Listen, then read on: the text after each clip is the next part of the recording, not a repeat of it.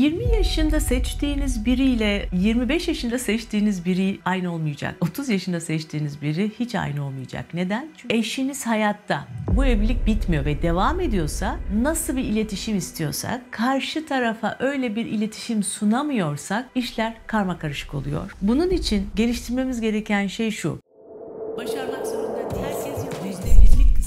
Bekar olmak ve evlenememek bir başarısızlık hissi veriyor ve canımı çok yakıyor. Bir başarı tanımına ihtiyacımız var. Çok mutsuz bir evliliği devam ettirmek ya da çok mutsuz bir evliliği sadece bekarlığı yok edebilmek için gerçekleştirmek midir başarı? Ya da size en uygun insanı bulabilene kadar kendinizi geliştirmek, uygun bir insan bulana kadar, doğru bir eş seçene kadar beklemek mi?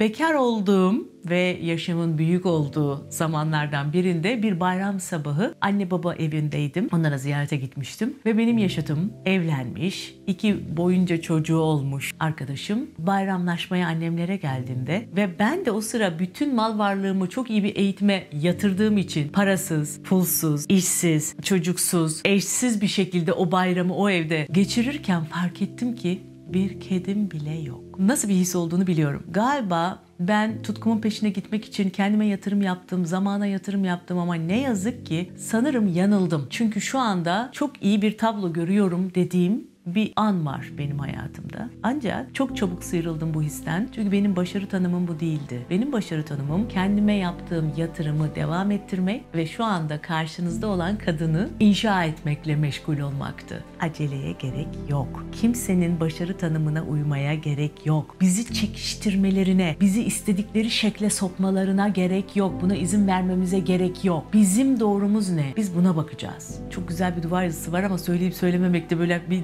endişe ettim ama paylaşacağım sizin için. Bip yiyin. Milyonlarca sinek yanılıyor olamaz diyor bir duvar yazısı. Ya yanılıyorlarsa aynı şeyi yemek zorunda değil. Örneğin 20 yaşında seçtiğiniz biriyle 25 yaşında seçtiğiniz biri aynı olmayacak. 30 yaşında seçtiğiniz biri hiç aynı olmayacak. Neden? Çünkü siz geliştiniz. Eğer geliştirebiliyorsanız kendinizi, öğrenebiliyorsanız, derinleşebiliyorsanız, büyütebiliyorsanız. Yaşlanmak değil mevzu bahis olan, yaş almak. Eğer yaş alırken olgunlaşabiliyorsak hayatınıza seçtiğiniz kişi de daha olgun bir kişi olacaktır. Evliliklerde insanlar aynı kalmıyor. Yani bir, biri gelişirken diğeri bir kapalı döngü için içinde kalırsa çatışmalar başlıyor. Ancak siz kendinizi geliştirdiğinizde, hayatta ne istediğinizi bildiğinizde, aslında kim olduğunuzu bildiğinizde ve kendiniz için yapmanız gereken şeyi yaptıktan sonra bir eş seçtiğinizde daha doğru bir seçim yaptığınızı, daha iyi bir iletişime geçtiğinizi göreceksiniz. Ha demek değildir ki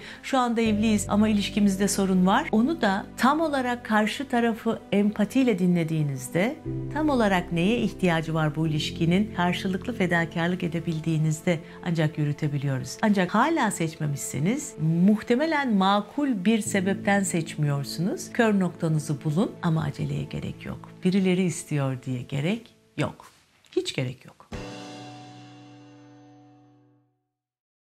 Eşimle aramda hiç iletişim yok. Üç çocuğumuz var. Çocuklarım için atacağım adımlardan hep vazgeçiyorum demişsiniz. Şimdi burada gerçekten çocuklarınız için mi vazgeçtiğiniz ve hayatınızda vazgeçtiğiniz tüm şeylere baktığımızda oturup iyi bir muhasebe yapmak gerekiyor. Çok zor olduğunu biliyorum. Eşimle aramda hiç diyalog yok dediğinizde ben hemen Sevginin Beş Dili adlı kitabı öneriyorum. Hepimiz başka türlü öğreniyoruz, başka türlü sevgimizi iletiyoruz, başka türlü ifade ediyoruz ve eğer benzin depolarımız bitmişse hiç iletişim olmuyor. Bu yüzden biz nasıl bir iletişim istiyorsak karşı tarafa öyle bir iletişim iletişim sunamıyorsak işler karma karışık oluyor. Bunun için geliştirmemiz gereken şey şu. Bu kadın ya da bu adamla birlikteysem ben diye düşünüyoruz. Aklımıza ilk gelen şey şu oluyor.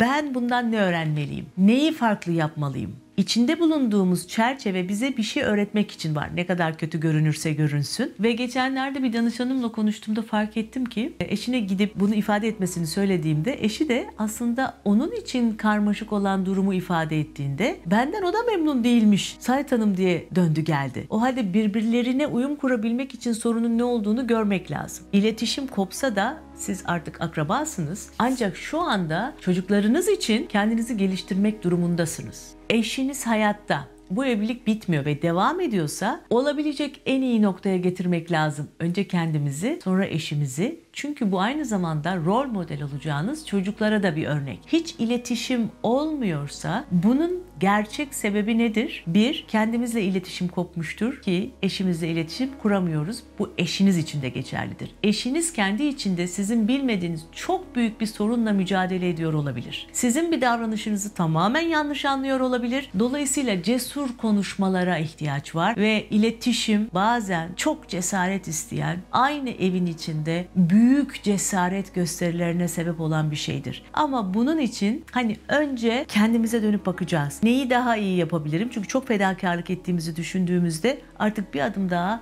atma gücümüz olmayabilir. Ama karşı tarafın bakış açısından nasıldır hiç bilemeyiz. Bazen 9'a ters taraftan baktığınızda 6 sayısını görürsünüz. Siz yemin edebilirsiniz 6 gördüğünüze eşiniz yemin edebilir 9 gördüğüne. Ama uzaktan, yukarıdan objektif bir bakış açısı her iki tarafında kendine göre haklı olduğu noktalar olabileceğini fark edecektir. Bu yüzden eğer sevgisi, kendine olan saygısı bitmişse bir eşin size de gösteremez. Sizin de kendinize bitmişse eşinize gösteremezsiniz. Bu yüzden temelde kendinizle başlayıp kademe kademe evin içindeki iletişimi iyileştirmeyi önerebilirim. Ne kadar zor olduğunu biliyorum ama denenebilir.